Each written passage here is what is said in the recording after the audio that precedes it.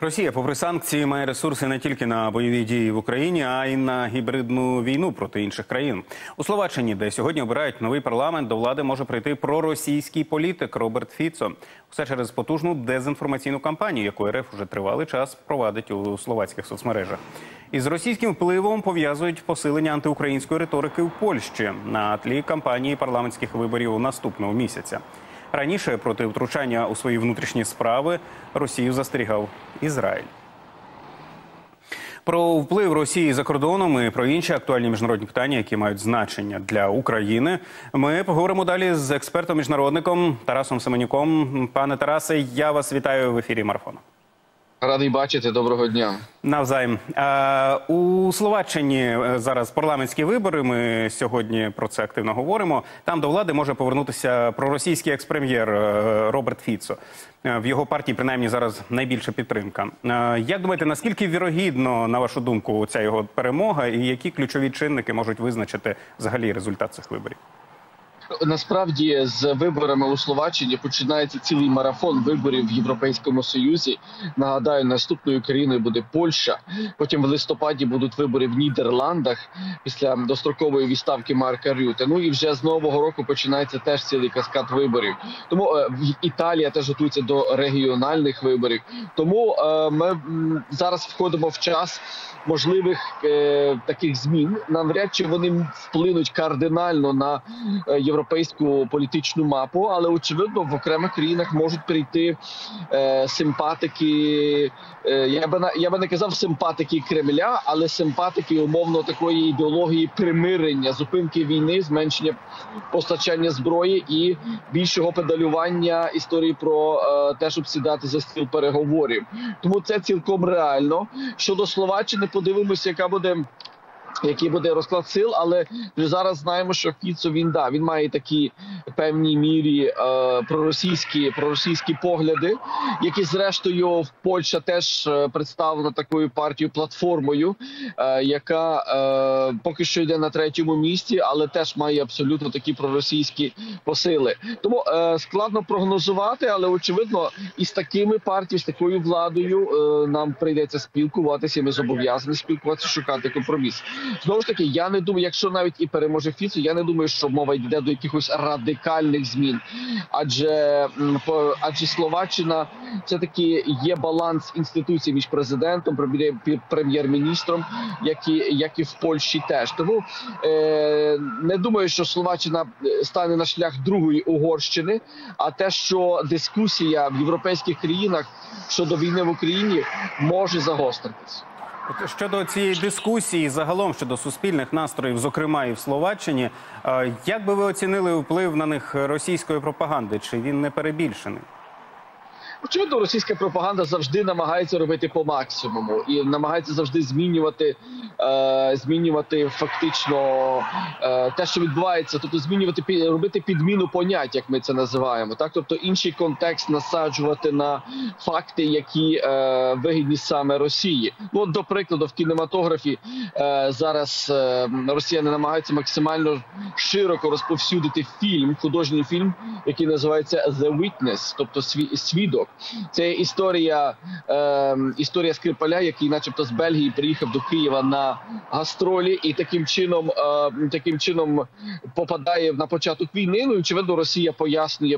Те, що відбувалося в Бучі, а він саме в Бучі, е, через призму своєї пропаганди, яку ми яку ми раніше чули, це робиться спеціально для того, щоб е, перед виборами зробити таку типу альтернативу. Очевидно, цей фільм не буде йти в широкі маси, але він знайде свою аудиторію, тому що як мінімум 20% е, від цього електорату в Європейському Союзі симпатизують е, росіянам, і умовно вони готові.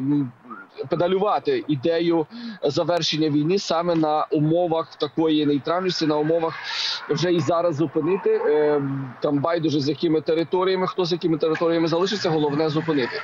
Тому е, очевидно про російський фактор Росія взагалом розраховує на ці вибори на 24-й рік, і, і саме під це вони коригують свої плани. Пригадуємо 20... Нещодавно Шойгу, міністр оборони Росії, сказав, що е, вони ставлять собі ціль завершити війну до 9 травня 25-го року. Тобто вони сподіваються, що в 24-му році в Європі зміниться е, політична мапа. Так, тобто колористика буде більше на користь Росії, на їх погляд. Ну і ключовими це вибори Сполучених Штатах Америки, е, де вони розраховують, що прийде президент. Зокрема, Трамп, який може зупинити постачання зброї, а це в кінцевому випадку може послабити наші позиції. От, власне, такий е, тренд е, запускає Росія, і очевидно, це ми можемо бачити в е, численних інтерв'ю пропагандистів, які сьогодні говорять. А є звичайно, що так звані еліти в Європейському Союзі, які бажають підіграти Кремлю. Вони розуміють, вони вважають себе героями, адже вони переконані, що з Кремлем можна умовно домовитися.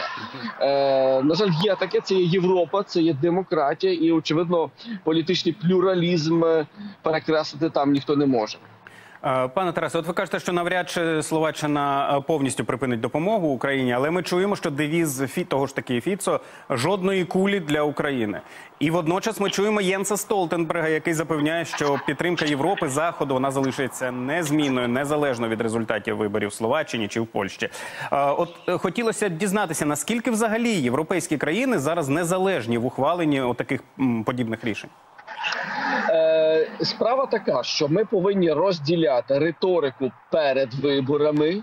І риторику після виборів, тобто перед виборами, очевидно, кандидати говорять все, е, що хоче, скажімо, що сподобається їхнім виборцям, і не просто так це відбувається, адже вони перед цим проводять соціологічні дослідження, вивчають, що е, люди хочуть почути, так Е, і на основі таких даних, на основі таких аналітичних е, знань, вони будують свої меседжі.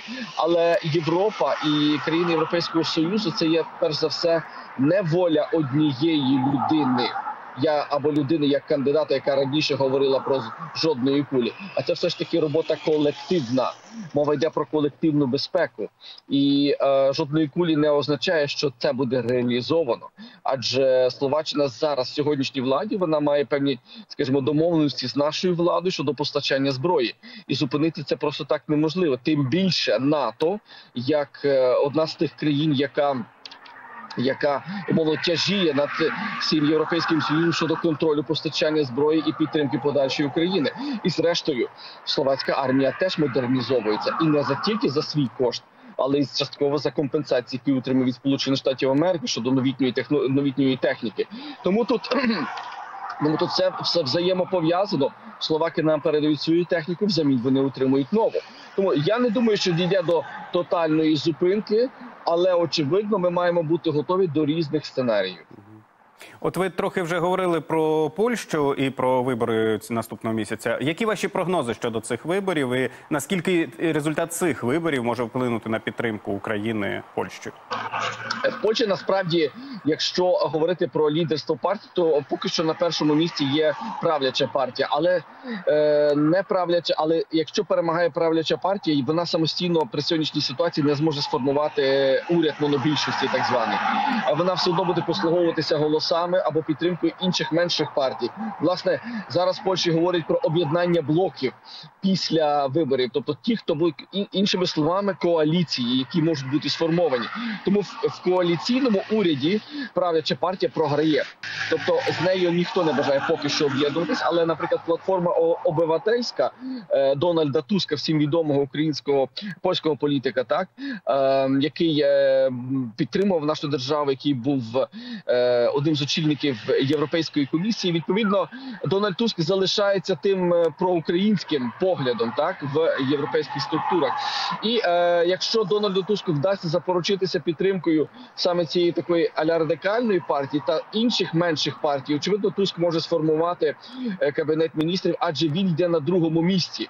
І партія, яка умовно на основі якої формується коаліція і подальший уряд, вона буде диктувати всю політику. Сьогодні ж, якщо е, правлячій партії право і справедливість Леха Качинського не вдасться сформувати уряд, очевидно, вона перейде в опозицію. Тому вибори 15 жовтня побачимо, який буде формат. Але знову ж таки, і там є радикальні повідомлення, радикальна риторика, яка аж ніяк не буде стосуватися, е, як на мене, е, риторики після виборів.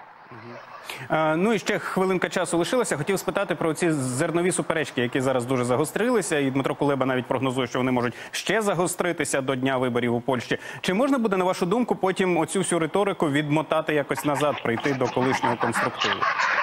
Складно буде її відмотати, адже розумієте, чим більше накручується історія сама в негативі, її відмотати означатиме слабкість, або це відмотати її можна, якщо умовно право і справедливість, правича партія піде в опозицію. Тобто, якщо вона е, вона умовно програє вибори, тобто не зможе сформувати уряд. Таким чином, е, поки складно говорити, але я думаю, що певні поступки будуть, адже ж е, даруйте, Польща, коли надає свою територію, можливість транзиту через свою територію. Ну це ж не благодійність, правильно? Це, це ж не волонтерство, це ж бізнес. І Польща на цьому заробляє на логістиці, і це не малі гроші заробляє. Тут лише питання домовленості, що Польща як транзитна зона всього навсього не зона, де ми можемо продавати своє зерно, бо саме це е, сколихнуло ці хвилю протестів у польських фермерів. А саме як зона транзиту до портів е, Гданська та Гдині, де власне перевалюється зерно. Ось цей ключовий я вважаю бізнес-проект, який цікавий і Україні, і Польщі. Тому відмовлятися від такого транзиту або блокувати його, це було би абсолютно популістичною та непродуманою політикою з боку Варшави. Дуже вам дякую, пане Тарасе. Як завжди, цікава, інформативна дуже бесіда вийшла. Це був експерт, міжнародник Тарас Семенюк. Чекаємо вас в наступних ефірах. Дякую.